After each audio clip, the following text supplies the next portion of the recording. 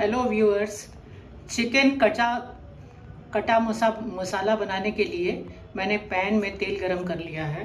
अब उसमें मैं कुटी हुई, कुटा हुआ गरम मसाला, जिसमें छोटी इलायची, बड़ी इलायची, जायफल, जायत्री, सब कुछ है, इसको मैंने डाल दिया है।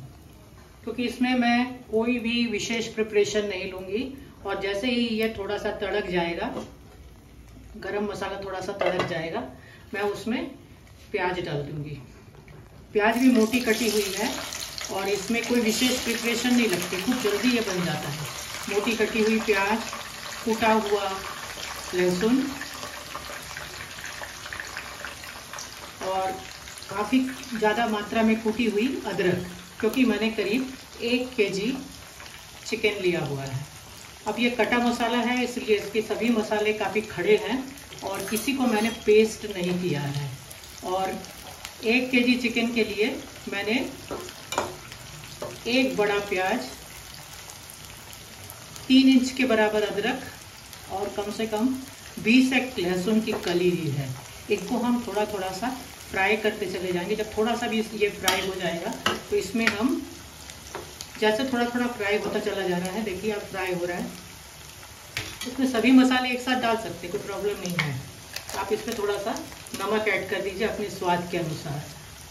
हमारे यहाँ जो नमक चलता है, उस हिसाब से डाल रहे हैं। नमक आप ऐड कर दीजिए। जैसे ही नमक ऐड हो जाता है, आप उसमें हल्दी ऐड कर दीजिए। हल्दी भी इसी के साथ भुन जानी चाहिए। आप हल्दी भी ऐड कर दीजिए। हल्दी ऐड करने के बाद हल्दी को थोड़ा सा भून लीजिए, नहीं तो उसकी एक कच्ची महक आपको खाते समय मिलेगी। हल्दी भी मेरी थोड़ी सी भुन चुकी है। हल्दी जैसे ही थोड़ी थोड़ी गोल्डन ब्राउन भून जाएगी। तो हम क्या कर देंगे इसके भीतर हम थोड़ा सा और चलाते चले जाएँगे। थोड़ा सा चलाते चले जाएँगे जिससे ये थोड़ा सा और भी भुन जाए, क्योंकि ये मसाला थोड़ा सा भुनना ज़रूरी है। उसके बाद जैसे ये थोड़ा सा भुन जाता है, हम थोड़ा सा इसमें ज़्यादा मात्रा में ब्लैक पेपर पाउडर डाल देंगे। ब्लैक पेपर पाउडर डालने से बहुत सुंदर टेस्ट आएगा। आपको ज़्यादा मसाले भी नहीं डालने पड़ेंगे। और एक बहुत सुंदर टेस्ट इसका आएगा। इसके बाद आप इसमें मिर्च ऐड कर सकते हैं, जिस, जितन जैसा आपका स्वाद है, उस हिसाब से आप मिर्च ऐड कर सकते हैं।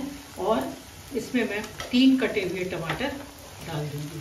तीन कटे हुए टमाटर डालने के बाद इसको मैं थोड़ा सा गला लूँगी इस टमाटर को यहाँ से। थोड़ा सा टमाटर को चलाते चाहिए टमाटर थोड़े से गल जाने चाहिए। टमाटर थोड़े से गलने के बाद थोड़ा सा और गल जाने दीजिए इसको और इसको जलाते चले जाएँगे अब मैं इसमें थोड़ा सा मिर्च आप ऐड कर सकते हैं। मैं इसमें भी मिर्च ऐड नहीं कर रही हूँ। मिर्च ऐड करने से कलर भी बहुत सुंदर आ जाएगा और आप देखेंगे कि उसमें तीखापन भी आ जाएगा। इसको ऐड करते करते ही हम क्या कर देंगे, इसमें कुछ कटे हुए आलू ऐड कर देंगे। कटे हुए आलू जो कि हम दूसरे आइटम्स में फ्राई करके डालते हैं, इसमें हम नहीं डाल रहे। हम डायरेक्ट आलू डालते हैं। कुछ कटे हुए आलू हमने डाल दिए हैं। इन आलू को भी हम थोड़ा सा इसके साथ सेमी फ्राई कर लेंगे। ये आलू भी धीरे धीरे नीचे सेमी फ्राई होंगे।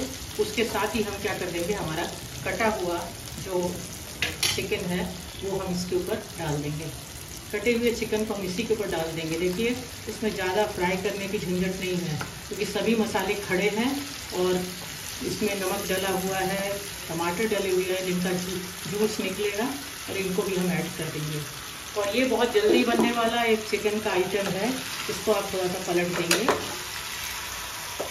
इसको धीरे धीरे इस प्रकार से चलाएँगे और पलट पलट देंगे। पलटने से क्या होगा? ऊपर का मसाला जो है, वो इन पीसेस के ऊपर आ जाएगा। इस प्रकार से चलाइए। चलाते हुए आप देख रहे हैं कि ये इसमें भी कलर आएगा। जो हल्दी का कलर है, वो इसमें आ जाएगा। और इसको आप चलाएँगे जितना चलाएँगे उतना इसमें सीखेगा ये थोड़ा सा ये थोड़ा सा जैसे सीख जाएगा दो तीन मिनट के लिए हम इस प्रकार से इसको छोड़ेंगे। दो तीन मिनट छोड़ने के बाद हम इसको थोड़ा सा लिड लगा देंगे। इसके ऊपर एक ढक्कन लगा देंगे। ढक्कन लगाने के साथ ही इसमें से एक वेपर निकलेगा और वो वेपर जैसे इसमें कांच के ऊपर हमको दिखेगा, हम इसको हटाएँगे। हटा के इसमें हम थोड़ी मात्रा में दही डाल देंगे। दही हम डायरेक्ट ऊपर डाल रहे हैं। देखिए, इसको आप फेंट के भी डाल सकते हैं, परंतु हम दूसरे डिशेज में फेंट कर डालते हैं, परंतु ये क्योंकि कटा मसाला है इसमें सभी आइटम सीधे खड़े खड़े पहुँच जाएँगे। कोई भी ऐसा नहीं रहेगा जिसको हम कुछ प्रिपेयर करके बना रहे हैं। क्योंकि हमको थोड़ी देर जल्दी में बनाना है और खूब स्वादिष्ट बनता है देखिएगा। कोई विशेष मेहनत नहीं रहेगी और आप क्या करेंगे दही को भी इसमें इसी प्रकार से डाल देंगे। और हमने इसमें कोई पानी नहीं ऐड किया है, क्योंकि इसमें से दही में से जो पानी निकलेगा, टमाटर में से पानी निकलेगा, और साथ में इस चिकन का भी एक अपना पानी निकलेगा इसमें से। तो हम क्या कर देंगे, इसको दिल को टाइट करके हम पकने तक इसको सिम में रख देंगे। थोड़ी देर बाद मैं आपको बताती हूँ ये कितना सुंदर दिखेगा, और खाने में भी अच्छा लगेगा। चिकन कट कसा मसाला बनाने के लिए मैंने इस लिट को ढक दिया था। तीन मिनट के बाद मैंने लिट को थोड़ा सा खोलकर उसमें एक कप, बड़े कप का एक कप पानी डाल दिया था, जिससे जो मसाले हैं वो जले ना। अब हम इसको सिम में रखे हुए कम से कम 17-18 मिनट हो चुके हैं। अब मैं क्या करूँगी? गैस को ऑफ़ कर दूँगी, क्योंकि तो इसमें जो ऊपर से ही जो बबल्स दिखाई पड़ रहे हैं, तेल ऊपर आ चुका है, क्योंकि इसमें दही है और दही की ये प्रॉपर्टी है कि इसमें जो भी तेल वगैरह रहता है ना उसको खूब अच्छी तरह ऊपर खिलाता है। इसमें आप कश्मीरी यदि लाल मिर्च डालते हैं ना तो इसका रंग और अच्छा आएगा जो कि मैंने नहीं डाला है। और आप चाहें तो उसको डाल सकते हैं। यदि आप डालेंगे तो इसका जो कलर है वो बहुत ही खिला हुआ आएगा। अब हम इसको एक बॉल में ट्रांसफ़र कर लेंगे। आप देख रहे हैं कि ये हर पीसेस आलू को निकाल के देखिए ये पूरी तरह गल चुका है। एक पीस को निकाल के देखिए तो वो भी पूरा अच्छी तरह गल चुका है। क्योंकि ये पूरा, देखिए कितना अच्छा इसमें मैश हो गया। इसका मतलब ये अच्छी तरह गल चुका है। अब हम क्या करेंगे? सभी पीसेस को इस बॉल में ट्रांसफ़र कर लेंगे। इस बॉल में ट्रांसफ़र करते ही आपको ये चावल के साथ या रोटी के साथ आप इसको खा सकते हैं। देखिए, हम इसको बॉल में ट्रांसफ़र कर रहे हैं और ये पूरा अच्छी तरह कुक हो चुका है। आप इसको चाहें तो चावल के साथ या रोटी के साथ खा सकते हैं। यदि आप चावल के साथ खाएँगे ना तो पानी थोड़ा सा रखना होगा। नहीं तो ये चावल के साथ मैश नहीं कर पाएँगे।